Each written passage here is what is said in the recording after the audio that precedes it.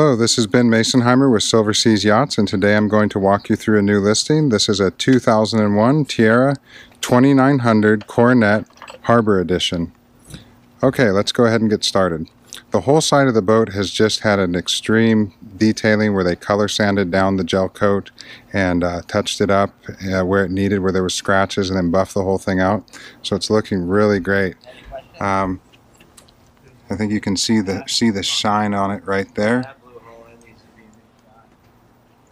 Uh, we have a windlass anchor here on the bow, great bow rails. All your bright works in great condition. Windshield paint is in excellent condition. All your pinstriping is very nice and your through hulls look to be in good condition as well. This is a two owner boat. Uh, the current owner, he and I, we brought this boat from Bedford, Massachusetts where it was used during the summer and then stored indoors.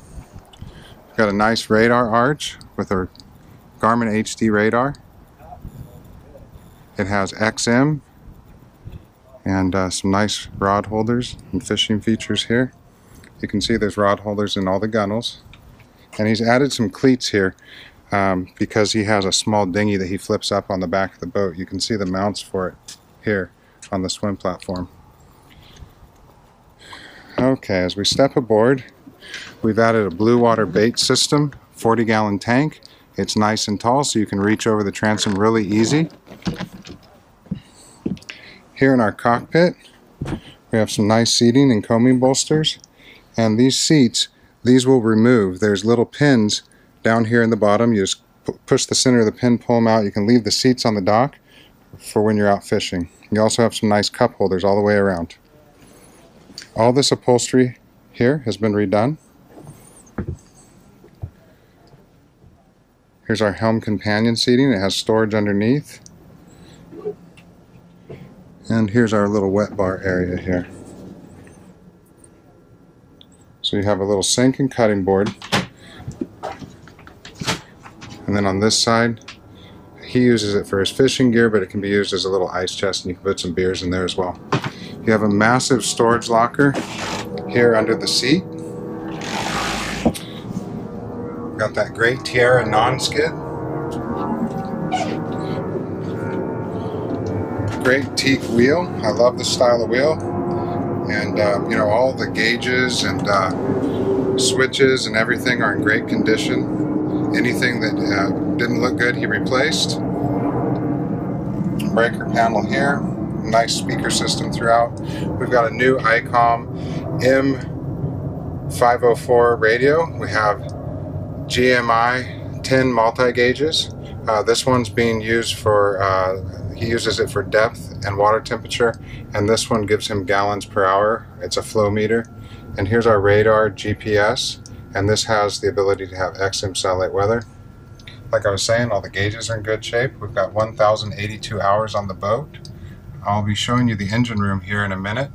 Um, and uh, he's done quite a bit of upkeep and maintenance. I think both owners have really. Um, all of our canvas, this is all brand new, and he has a secondary bimini here that will go on out, um, you know, another few feet uh, over the cockpit to give you some extra shade.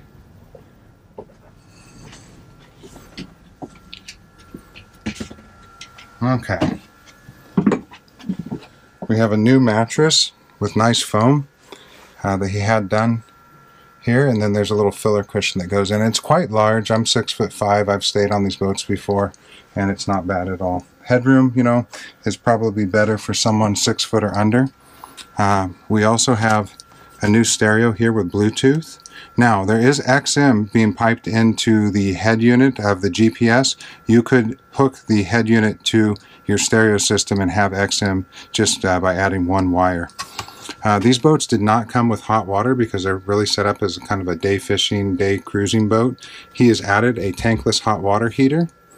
Um, and he's also added a 2000 watt power inverter here under the sink that has a USB as well. Nice little Norcold refrigerator here.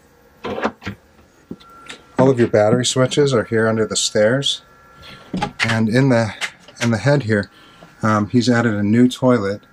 Um, he had a little head odor, so he added a freshwater toilet here in this area, but you can see you have a nice little sink here um, and, and your head. Not There's no shower on these boats, but you do have the sink, the mirror, and a nice enclosed head.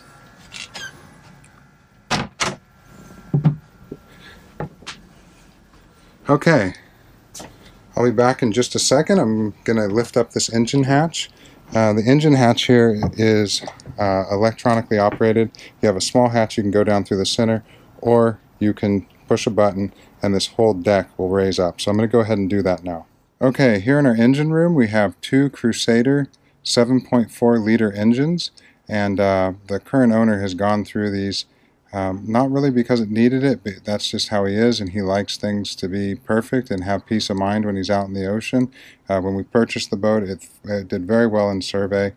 Uh, but you know, this particular gentleman has run uh, large pieces of equipment all of his life, and he really likes his things to be right. So what we've what we've done in here uh, is it has all new spark plugs, it has new plug wires, caps, rotors. Uh, the heat exchangers were disassembled, inspected, and cleaned. It has new manifolds and risers. Um, it has uh, all new hoses. It has new dripless shaft seal housings and seals for your shafts. It has new water pumps, new batteries, um, and he added an extra water tank because he went to a freshwater head versus a saltwater head. Um, so let me just show you around here. You can see here on the top when he did his services he had the compression check uh, done and they painted the compressions right there and they're all very nice right where they should be. You have the dates that the manifolds were done right here and you can see all the new hoses and wires, um, all your manifolds. These are great engines. Um, and um, this uh, boat will cruise over to Catalina all day long with a full load of people at about 25 miles an hour while burning about 28 gallons per hour combined and it has a top speed of about 30 knots.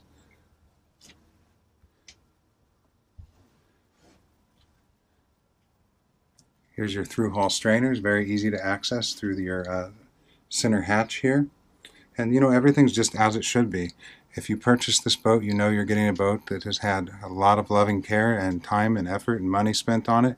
And you can pull away from the dock and it's going to be in perfect condition um, for your coming summer.